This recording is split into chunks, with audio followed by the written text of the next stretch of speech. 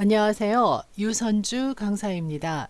컴퓨터 활용 능력 필기 시험 과목 중에 스프레드시트 일반 강의를 시작하도록 하겠습니다. 아, 스프레드시트란 계산을 전용으로 하는 프로그램들을 총칭하는 말로서 대표적인 프로그램으로 MS사의, 마이크로소프트사의 엑셀, 한글과 컴퓨터사의 한셀이라는 프로그램이 있는데요. 아, 컴퓨터 활용 능력 자격 시험에서 채택한 공식 프로그램은 MS사의 엑셀 2007 버전으로 어, 사용하셔야 됩니다. 어, 필기 시험을 보실 경우에는 반드시 엑셀 프로그램이 있어야 하는 것은 아니지만 어, 실기 시험까지 보셔야 되기 때문에 어, 미리 준비를 해 놓으시는 것이 좋을 것 같고요. 어, 또한 공식 버전이 엑셀 2007 버전이므로 가급적이면 버전까지 맞춰서 준비하시는 것이 좋습니다. 어, 2007이 아니라 엑셀 2010 버전을 가지고 계셔도 학습하시는 데는 큰 문제는 없습니다. 메뉴의 차이가 크게 없기 때문에 어, 공식 버전은 2007이지만 2010으로 준비하셔도 됩니다. 아, 그러나 최근에 엑셀 2013과 2016 버전이 나왔는데요. 어, 이 버전은 메뉴의 차이가 아, 크기 때문에 공, 어, 공부하실 때 애로사항이 많습니다. 그래서 자격 준비, 시험 준비를 하실 때는요, 어, 가급적 스프레드시트나 데이터베이스 어, 과목에서는 버전에 맞게 프로그램을 준비해 놓으시는 것이 중요하다고 봅니다. 자, 그럼 어, 스프레드시트 일반 과목 시험 범위에 대해서 알아보도록 하겠습니다. 자, 먼저 프로그램 환경에 대해서 이제 출제가 되는데요. 엑셀 옵션이 되겠고요. 파일 관리라든가 시트 관리에 관련된 문제가 출제가 됩니다. 자, 데이터 입력 부분에서 엑셀에서는 모든 데이터가 다 똑같은 문자로 취급되는 것이 아니라 아, 숫자, 수식, 날짜 등으로 나눠서 입력되기 때문에 그 데이터의 성격과 입력, 편집, 서식에 관련된 문제들이 예, 출제가 되고 있습니다. 자, 다음은 데이터 계산이죠. 예, 엑셀은 아, 스프레드시트, 즉 계산을 전용으로 하는 프로그램이기 때문에요. 계산식, 함수식의 문제가 반드시 나오는데 이 범위가 사실은 좀 넓어서 엑셀 프로그램을 먼저 공부를 해 놓으신 분들이라면 어, 어렵지 않겠지만 어, 그 엑셀이라는 과목을 모른 채 필기로만 공부하실 때는 다소 어려움이 있을 수 있겠습니다. 자, 데이터 관리 이 부분은요. 자료 관리에 해당이 되는데요. 데이터를 정렬하거나 필터, 외부 데이터를 가져오거나 분석하는 등의 데이터 관리 메뉴들을 예, 익혀 두셔야 됩니다. 자, 다음은 차트인데요. 어, 차트를 작성하고 차트 종류, 차트를 구성하는 요소들에 대한 아, 지식이 있어야 문제를 푸실 수가 있겠습니다. 자, 출력이요. 자, 인쇄 작업이 되겠는데요. 페이지 레이아웃, 테마, 아, 그 다음에 인쇄할 때 머리글, 바닥글 등의 내용을 인지하시고 계셔야 됩니다. 자, 마지막으로 매크로 활용에 대해서 매크로란 어떤 개념이고 어떻게 만들고 어떻게 활용되는지 특히 1급 과정에서는 비주얼 베이징 모듈 작성까지 출제가 되고 있어서 자, 이런 부분들까지 여러분들이 정리하시려면 엑셀이라는 프로그램을 열어 놓고 하나씩 눈으로 또는 직접 실행하면서 공부를 하시는 것이 더 효과적으로 작업하실 수가 있습니다. 필기 준비하실 때부터 엑셀이라는 프로그램을 같이 사용을 하신다면 실기 준비하실 때 좀 더 쉽게 접근하실 수 있으실 것 같습니다. 자 그러면 먼저 프로그램 환경 설정에 관련된 내용부터 살펴보겠는데요. 자 엑셀 프로그램을 열어 놓고 한번 설명을 드려 볼게요. 자이 프로그램이 엑셀 2010 버전인데요. 2007과 차이점이라고 하면 왼쪽 상단에 파일 메뉴가 없 있고 오피스 동그란 오피스 버튼이 이제 있는 겁니다. 나머지 메뉴가 2007과 2010이 큰 차이가 없기 때문에 2007로 하셔도 되고 2010으로 공부하셔도 상관없지만 이 메뉴 부분이 엑셀 2013이나 16은 많은 차이가 있어서요. 어, 다소 공부하시기가 어렵다라는 말씀입니다. 그래서 2007, 2010은 어, 같이 사용하셔도 상관없으십니다. 자, 그러면 이 지금 보시는 이 상단에 이제 메뉴 어, 메뉴를 누르실 때마다 홈, 어, 페이지 레이아웃 이렇게 리본 메뉴가 바뀌고 있고요. 자, 왼쪽 상단에 오피스 단추 또는 파일 메뉴를 눌렀을 때 선택할 수 있는 메뉴 중에 엑셀 옵션 또는 파일 메뉴의 옵션을 눌렀을 때 자, 이 대화 상자에서 어떻게 환경을 설정하느냐 자, 이런 것들이 필기 문제에 간혹 나올 수 있다는 얘기가 되겠는데요.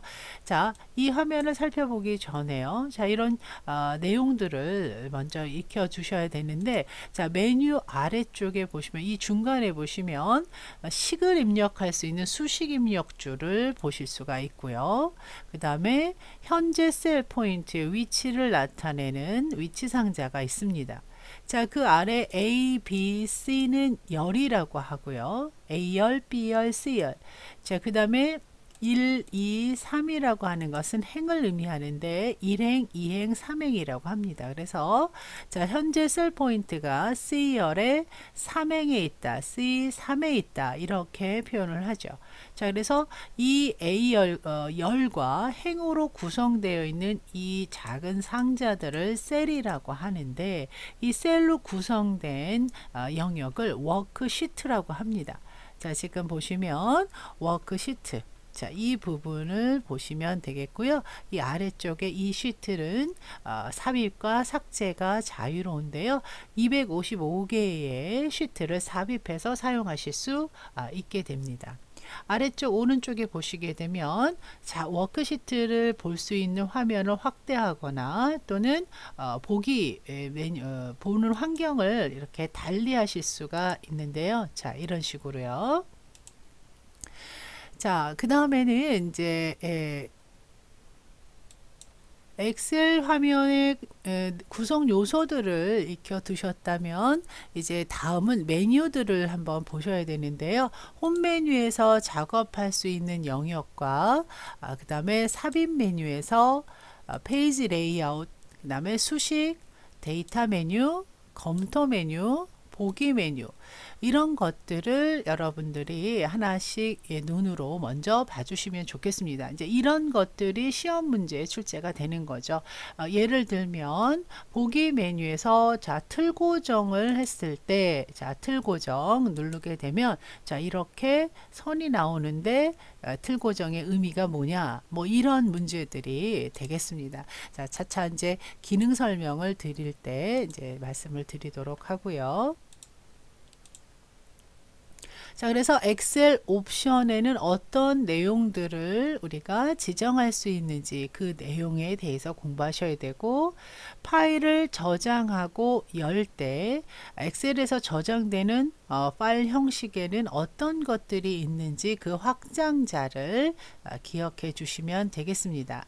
자, 저장을 할 때요. 일반 옵션이라고 해서 백업 파일 그러니까 비상시에 문제가 생겼을 때 복구할 수 있는 백업 파일 XLK로 저장되는 어, 백업을 만들 수 있고요. 암호를 지정할 수 있습니다. 열기 암호, 쓰기 암호, 읽기 전용 이런 어, 옵션들을 선택할 수 있다. 이런 어, 내용이 나오고요. 자, 그 다음에 워크시트 작업은 아까 말씀드린 대로 추가 할 수 있는 시트 수가 255개인데 어, 엑셀 옵션 화면에서 설정, 이 개수를 설정을 할 수 있다. 그 다음에 워크시트를 확대할 수 있는 최대 확대 범위는 화면을 확대하는 거는 400%까지 또는 10%까지 축소할 수 있다. 자, 그다음 어, 확대할 수 있다. 자, 그다음에 연속 시트를 선택할 때와 떨어져 있는 시트를 선택할 때 음, 시, 시트를 여러 개를 선택하게 되면요. 그룹이 이루어지는데요. 이렇게 시트가 그룹이 되면 여러 개의 시트에 동시에 데이터가 입력되는 그런 성향이 있습니다. 자, Shift F12를 누르게 되면 바로 시트가 추가가 되는데 어디로 추가가 되냐면 왼쪽 즉 현재 시트 앞으로 추가가 되고 워크시트를 숨기기나 숨기기 취소를 하는 경우들에 대한 얘기를 이렇게 글로만 보지 마시고요. 엑셀 프로그램을 열어서 작업을 해주시면 좋겠습니다. 자, 먼저 엑셀의 옵션을 살펴볼 텐데요. 2010에서는 파일이라는 메뉴로 바뀌었지만 2007에서는 동그란 버튼의 오피스 단추를 눌러서 엑셀 옵션 을 선택을 하시면 자, 이 안에서 우리가 살펴보셔야 될 것 대체로 일반 기본 설정, 수식, 언어 교정, 저장, 고급 이런 아, 정도의 문제들이 많이 출제가 아, 되는데요. 워낙 내용이 많습니다. 그래서 일단은 어떤 건지 전체적으로 살펴만 보십시오. 자, 일반에서는요. 미니 도구 우리가 글자를 입력할 때 이 위에 있는 주 메뉴가 아니라 작은 상자로 글자 크기나 정렬 등을 선택할 수 있는 미니 도구 모음을 표시를 하겠다. 실시간 미리 보기는 지금 보시는 것처럼 마우스 포인터 밑에 이렇게 설명이 뜨는 것을 말합니다. 이런 것들을 선택할 수가 있고요. 자, 새로운 통합 문서를 만들 때 포함할 수 있는 시트 수를 지금 3개 기본적으로 시트가 3개가 아, 나올 수 있도록 내가 설정할 수 있는데요. 자 이거를 255개까지 가능하다는 얘기가 되겠죠. 그러니까 이런 내용들을 이제 지정할 수 있는데 옵션이라는 말 자체는 기본값이 아닌 사용자가 추가적으로 변경 선택할 수 있는 그런 영역을 말하는 겁니다. 자 수식 엑셀 옵션의 수식에서는 여기서는 어떤 작업을 할 수 있느냐 체크가 되어 있는 건 선택되어 있는 걸 의미하고요. 아, 그렇지 않은 건 취소가 되어 있는 그런 상태를 의미합니다. 그래서 내용들을 한번 읽어 보시는데요 자, 그 다음에 언어 교정에서 뭐 대문자로 된 단어 건너뛰기에서부터 어떤 내용들이 있나 자, 자동 고침 옵션이라는 것은 내가 어떤 글자를 썼을 때 자동으로 그 글자가 고쳐지도록 하는 거죠. 그러니까 예를 들어서 이렇게 입력을 하면 요런 기호로 자동으로 변경될 수 있게 하실 수 있는 그런 기능이 되겠습니다.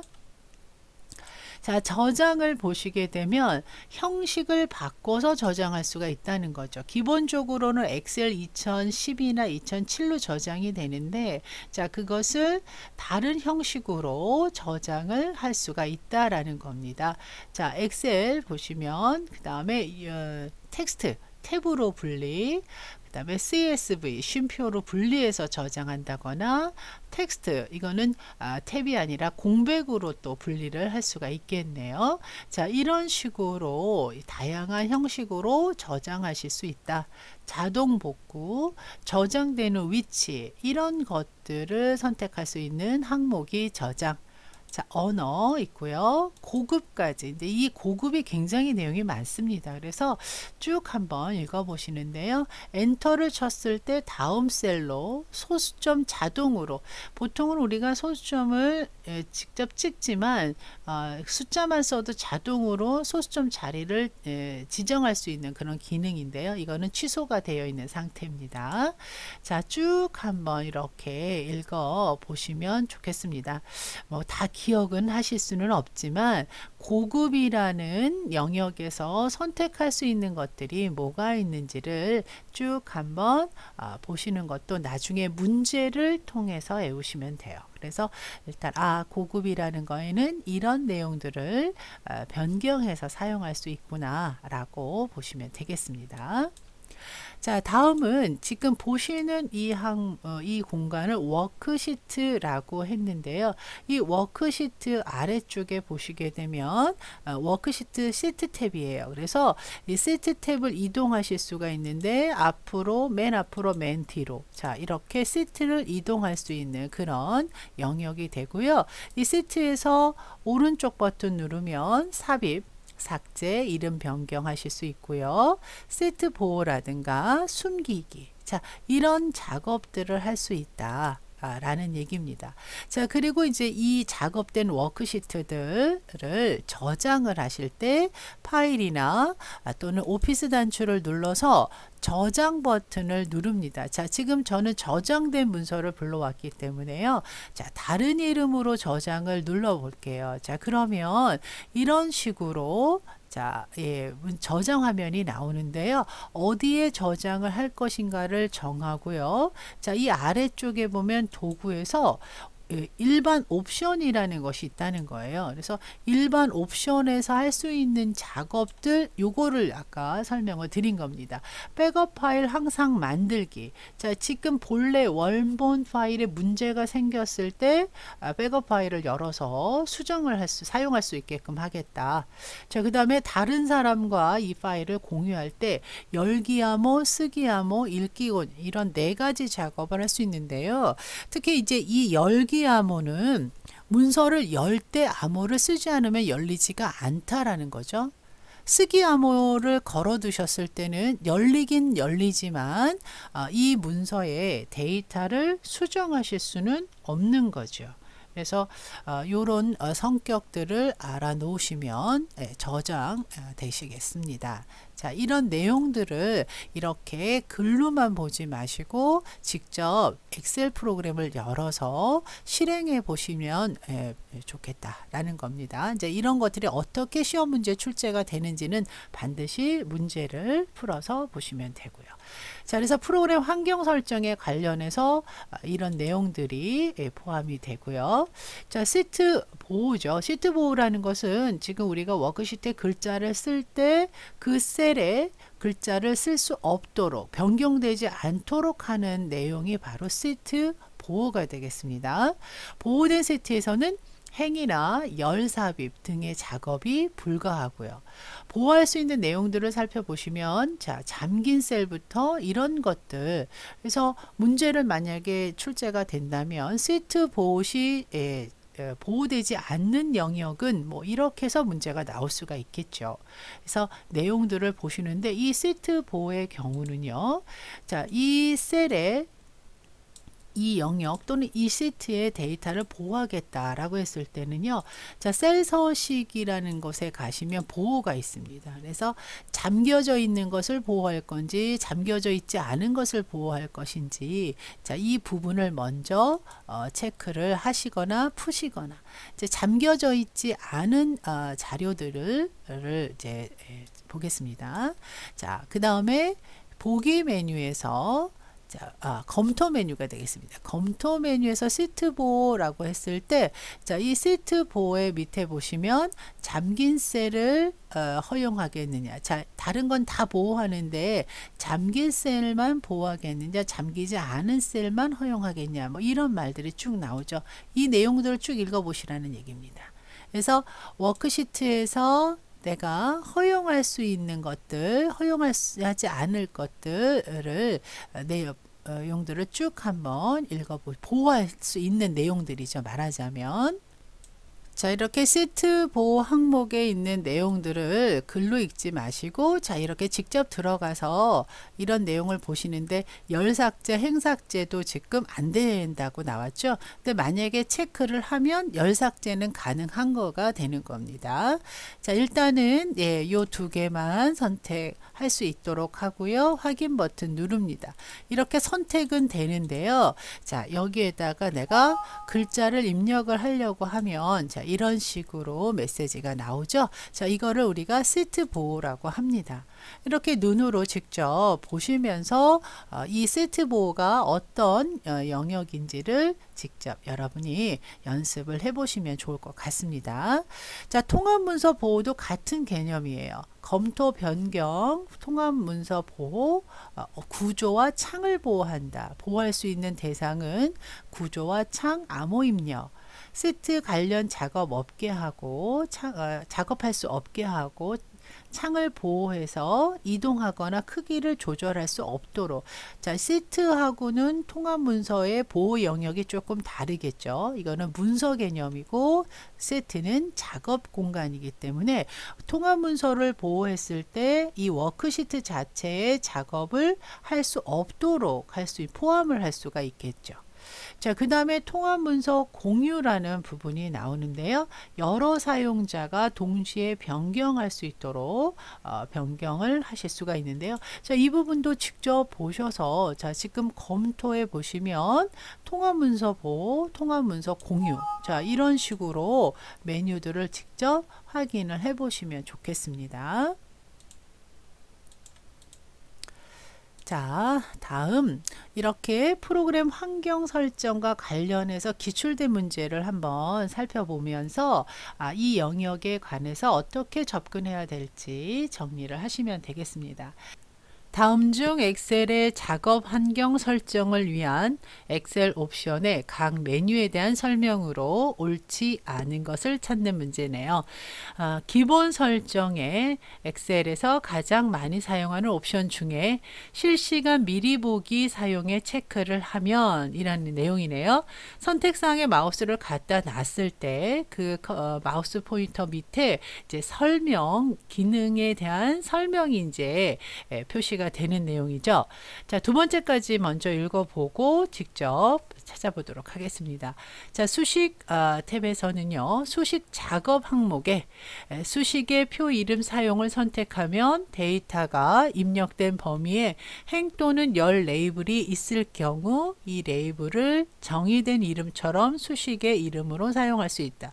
아, 말이 좀 어렵죠. 그래서 엑셀을 사용하지 않은 사, 분들이 그냥 아, 시험 문제를 필기 문제를 어, 준비할 때 이 과목이 좀 어렵게 컴퓨터 1번보다 더 어렵게 느껴지는 이유는 엑셀을 모르신다면 이런 부분들이 이해가 잘 안 되는 거죠.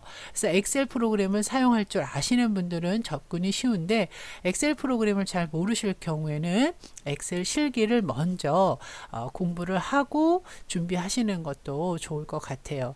자, 일단은 엑셀 지금 이, 이, 이 문제 같은 경우에는요. 오피스 버튼 또는 파일 메뉴 눌렀을 때 엑셀 옵션에서의 관련된 문제가 되는데요. 1번의 경우에는 실시간 미리 보기 이걸 물어보는 거죠. 그래서 요 밑에 뜨는 글 내용이 미리 보여진다. 라는 뜻이 되겠습니다. 자, 이두 번째 2번에서는 이 얘기예요. 수식의 표 이름 사용에 체크를 했을 때 하지 않았을 때의 이야기인데요. 체크를 하게 되면 이런 상황입니다. 자, 예를 들어서 이 영역을 표로 설정을 했을 때요. 자, 이렇게 표로 설정했을 때, 자, 이 영역을 참조하는 수식을 만약에 세웁니다. 자, 이랬을 때, 이, 이 테이블, 이 표에 이 수량이라는 항목, 레이블이 있다면 그 레이블, 즉 이름을 그대로 수식에 사용을 하겠다. 만약에 이게 설정을 해제가 됐다면 C9에서부터 C13까지라고 범위가 표시되는데요. 자, 이 항목에 체크를 해 놓으셨다면 이렇게 표시가 된다는 것을 어, 의미를 하는 겁니다.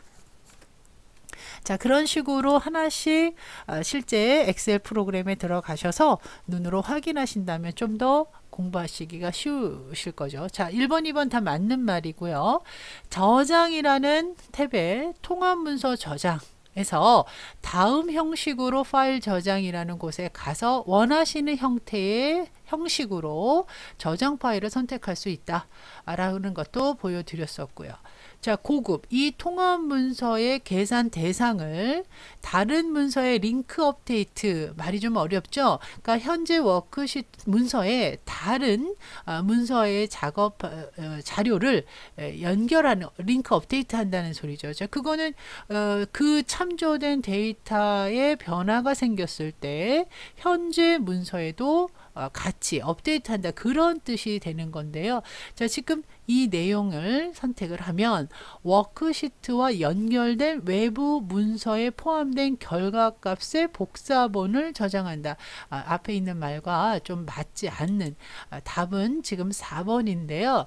자 다시 한번 엑셀 옵션 한번 들어가서 아, 여러분들 보셔야 될 게 일반 즉 기본 설정 수식 보셨고요. 저장해서 자 이렇게 다양한 형식으로 어, 파일 형식을 지정할 수 있다와 자 그 다음에 고급에서인데요. 좀 요게 조금 어려웠습니다. 이 고급 탭에서 어, 선택할 수 있는 영역들을 쭉 보시면 좋은데요. 지금 현재 문제에서 나온 얘기는요.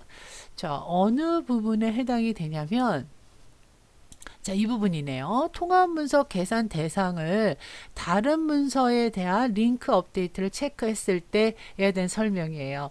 근데 어, 수, 그 참조되는 데이터가 외부 문서의 어, 데이터가 변경됐을 때 현재 문서도 바뀐다라는 뜻의 의미를 가져와야 되는데 외부 연결값 저장 항목에 대한 설명이 지금 나온 겁니다. 그래서 외부 연결값 저장에 체크를 했을 때 어, 연결된 외부 문서에 포함된 결과값의 값의 복사본이 저장이 된다에 대한 설명을 했기 때문에 4번이 틀렸습니다. 설명이 바뀌어서 된 거죠.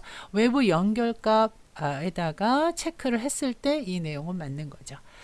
아, 조금 어려울 수 있습니다. 엑셀 옵션에 대한 문제가 나왔을 때 이제 요 정도 하고요. 그 다음에 고급에서 어떤 내용들로 어, 내용이 채워져 있는지를 한번 미리 보시면 도움이 되실 것 같고요. 자, 두 번째, 통합 문서 공유 과정.